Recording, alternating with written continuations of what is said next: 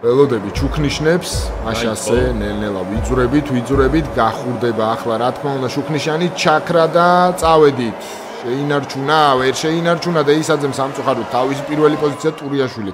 გალიდერდა ძალიან გაუჭირდა პილოტებს როგორც ჩანს დაძვრა იქ მოჭიდება საერთოდ არ აქვს ტრასას და ტურიაშვილს და დეისაძეს ფალ სტარტი ხომ არ აქვს რადგან მაშინვე ჯარიმა აიღეს ჯარიმა აიღეს ორივე ნახოთ ამასობაში მახარაშვილი უკვე მეათე პოზიციაზეა ორი პოზიცია მოიგო მან სტარტზე აი აქვს ორივე სპარტა როგორც ჩანს? ხო როგორც ჩანს ფალ სტარტი ჰქონდათ და ისინი აუცილებლად მოიხდიან ამ ჯარიმებს. ლევან მიმინოშვილია მესამეზე საბა ჯავახიშვილმაც ჩააგდო როგორც ჩანს სტარტი ვერ დავინახეთ ეს ეპიზოდი. აქ როგორი ბრძოლა გვაქვს ამ პილოტ შორის? როგორც ჩანს ჯავახიშვილი მიმინოშვილი და ყაჭარავა არიან ჯავახიშვილმა კიდე ერთი პოზიცია დაკარგა. ხალფა რომეოს მისდევს მაკლარენი ეს მიმინოშვილია წინ რომელიც პოდიუმის პოზიციაზეა ჯერჯერობით ეჯახები ასა ვერ გაიყო.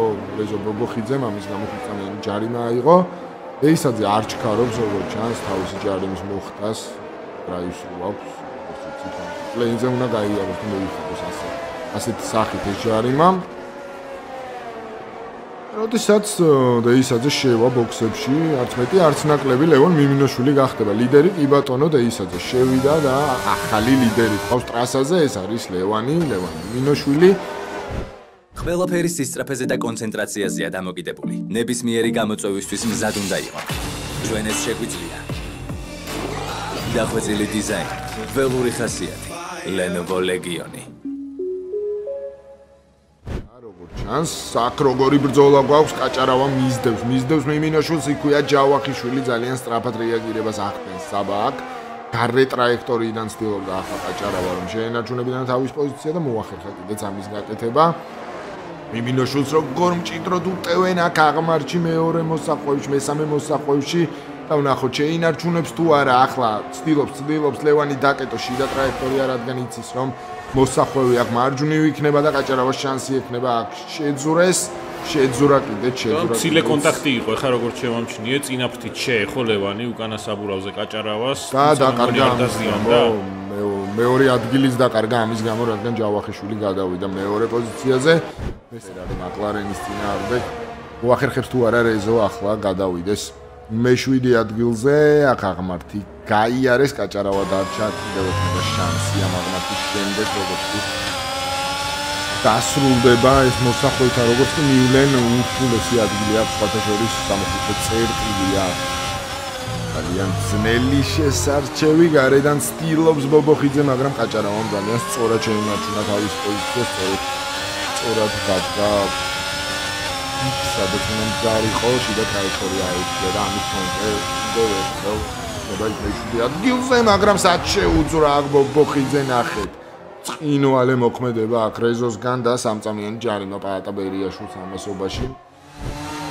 სი არეშობა არეშობა ყაჭარავა რა თქმა უნდა კონკრეტულად ვთქვი მაგრამ ვერაფერს ახერხებს მინოშვილი უკვე 90-ეზეა მახარაშვილთან აი ახლა იქნება საინტერესო მომენტი.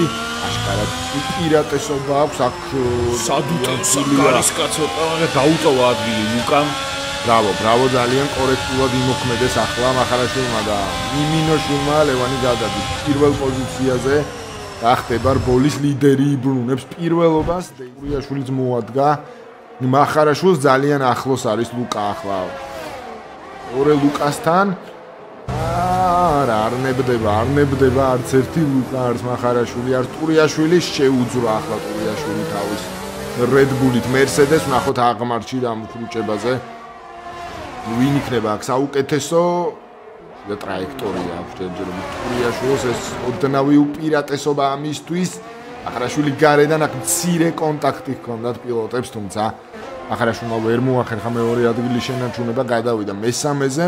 ცდილობს მე-6-ზე ავიდეს და გაიმჯობეს ეს ერთი ადგილი თავისი მდგომარეობა.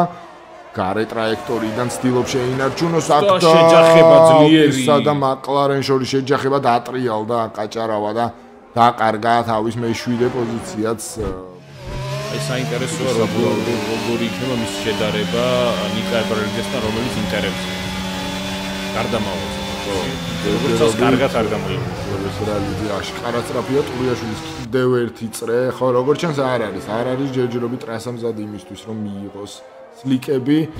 ჯერჯერობით ლევანი აქ ფრთავს გახსნილი როგორც ჩანს გაშრა ბოლომდე. გაშრა ბოლომდე და რბოლის დირექცია მისცა საშუალება პილოტებს ფრთის გამოყენების და იცვლება ლიდერი ჯერჯერობით ტურიაშვილი გადადის პირველ პოზიციაზე.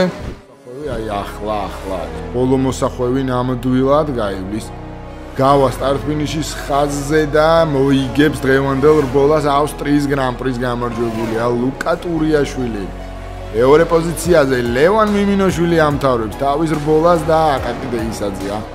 მესამეზე თუმცა ჯარიმის გამო ლევან მიმინოშვილი გადაინაცვლებს. მესამე ადგილზე დეისაძე გადავა მეორეზე, აი ასე შეიცვალა ყველაფერი. ბოლომდე დეისაძე ყოფილია როგორც შედეგი. და ჩვენ გვაინტერესებს დღის რბოლები. რომელიც რაჯილდოვდება ფორმულა 1-ის. ბოლიდით და ეს არის ლუკა მახარაშვილი, ლუკა დღეს არ დარჩა პრიზის გარეშე, მაინც მოახერხა ლუკამ და ბოლოს რბოლების ნომინაცია.